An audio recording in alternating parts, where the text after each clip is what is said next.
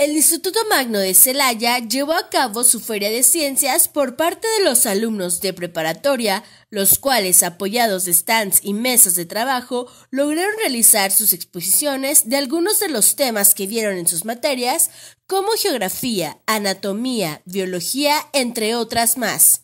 La maestra Carla del Instituto Magno comentó cuáles fueron algunas de las exposiciones que se presentaron. Los de primer semestre, que es de educación ambiental, están haciendo unos talleres con cosas recicladas, con materiales de reusado para toda la escuela. Los de biología también están haciendo unas demostraciones de toda la biodiversidad que tenemos, de los animales, mamíferos, anfibios, reptiles, moluscos, insectos.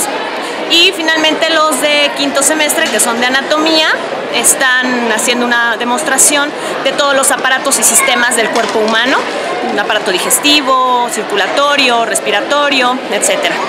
Esta muestra la realizaron los alumnos con todo lo aprendido durante su semestre y la maestra Carla dijo cuál fue la finalidad con la que se hizo esta muestra escolar. Y entonces la Feria de Ciencias lo que tiene como fin es que toda la escuela participe, también vengan los padres de familia, para que visiten los stands, los conozcan, los chicos también este, les entreguen algún no sé, dulce o algún premio a todos los que los visitan para que, eh, dependiendo de lo que hayan eh, escuchado, pues aprendan, ¿no?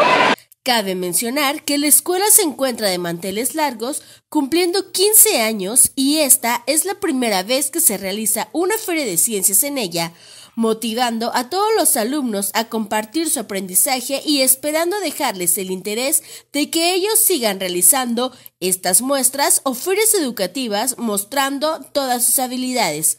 Con imágenes de José Luis Rodríguez, para Via Noticias, Mariana Alfaro.